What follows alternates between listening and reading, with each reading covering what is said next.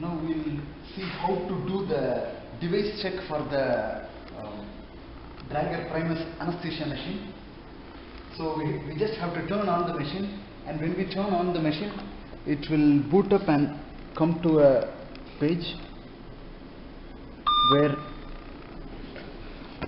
it is asking for start self check either here or even here it says start self check press the rotatory encoder. So I press the rotatory encoder to st- start self check but before that it is asking for some checklist. So we have to make sure that all this is all this is done. So we, we have to make sure that we have connected the uh, gases and then we have to make sure that uh, uh, auxiliary O2 and O2 flush everything is functional. So here vaporizers are locked in position. So this is here the vaporizer should be kept locked this is the lock. So it's kept locked okay? And set to zero fill level okay? So again I will say make sure that it is set to zero. And the fill level you could see. And then it is saying safety filler locked so um, this is the safety filler. So we have to make sure that it is locked okay it's locked and then uh, breathing circuit. It is it is asking to check the breathing circuit it is fully connected and uh, gas scavenger connected and the soda lime is okay. So this is the circuit and this is how you connect the circuit. So this is the test plug. You connect it to the test plug and this is inspiratory and expiratory. And this is for the manual ventilation. Okay so the manual ventilation we have connected the um, Ambu bag or the the test lung yeah.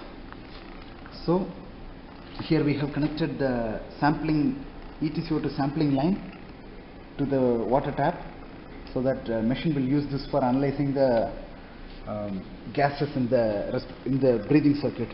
And then it is asking water trap fill level okay check the water trap everything. And we have to set the next thing we have to set the APL valve to manual and then we have to uh, adjust the APL valve to 30 30 and occlude the Y-piece connect the sampling line. We have done all this. Close the safety uh, flow control. So this is the safety flow control and we have to keep it closed. And then um, it was showing adjust the APL valve to 30 so this is adjustable pressure limiter valve. So we will uh, adjust the pressure limiter to 30 and then we will start the test. So once we are done with all this checklist then we can start the test and when we when we initiated the test the machine will do the gas delivery test and then the ventilator test and the monitoring test. So we have as a three uh, okay monitoring test almost everything is complete. Electronics is complete speaker gas analyzer oxygen sensor and battery even the battery is 100% everything is okay. And now in the gas delivery test it is measuring the pipeline pressure of the oxygen air nitrous and uh, cylinder. We have not connected any backup cylinder. And then it is measuring the inlet sensor.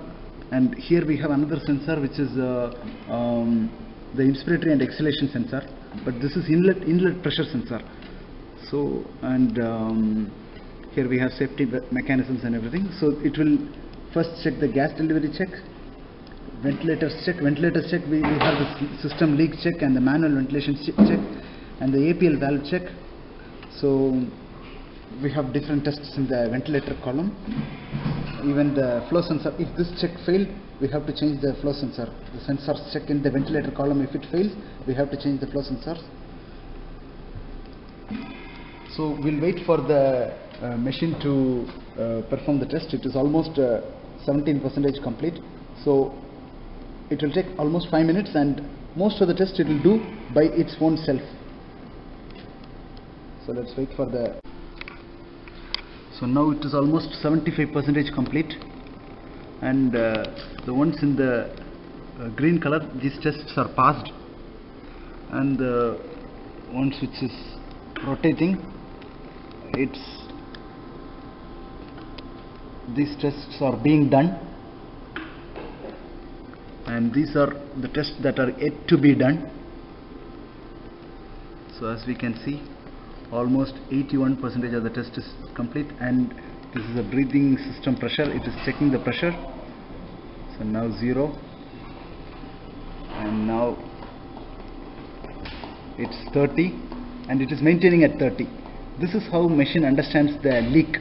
It will blow a uh, blow some gas and try to maintain the pressure inside the circuit. And if the pressure is being maintained constant just like as how it is being maintained now it means that the that there is no leak. But if the machine is not able to uh, maintain that pressure then there is leak. Now you can see that the leak tests are passed.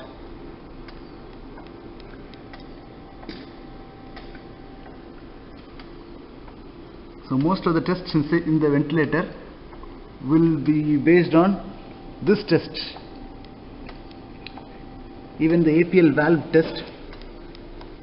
For the APL valve test we have set the APL valve to 30 we have set the APL valve to 30 and uh, it will try to maintain 30 it tried to maintain 30 and when it when it was able to maintain 30 and it is not going more than 30 which means the APL valve is working good.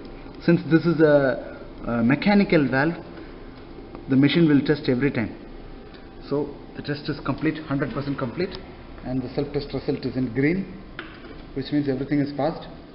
So the machine is ready to be used and it's fully functional